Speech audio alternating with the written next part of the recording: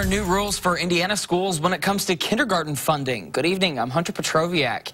As part of the new state budget, lawmakers say the state will fund students as they turn five before September 1st. But as Fox 55's Cody Butler explains, that doesn't mean schools are changing when they'll let kids in.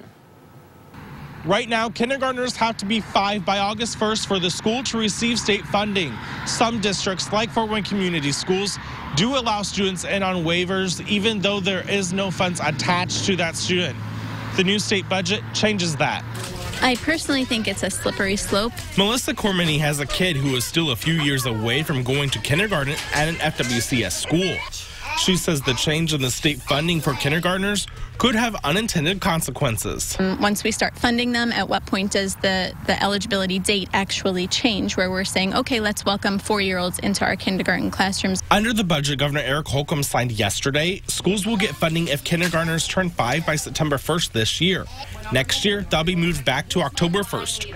FWCS admits four-year-olds only if they pass a test for a waiver.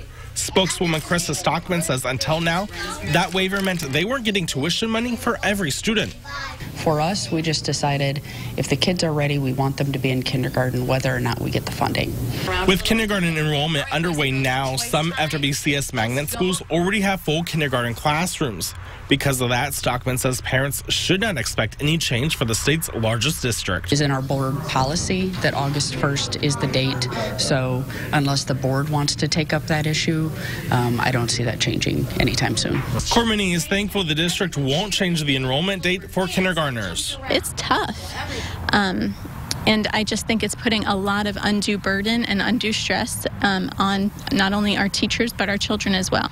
Fort Wayne Community Schools says it does not have any plans to change how it admits kindergarten students. The cutoff will still be August 1st without a waiver. In Fort Wayne, Cody Butler, Fox 55 News.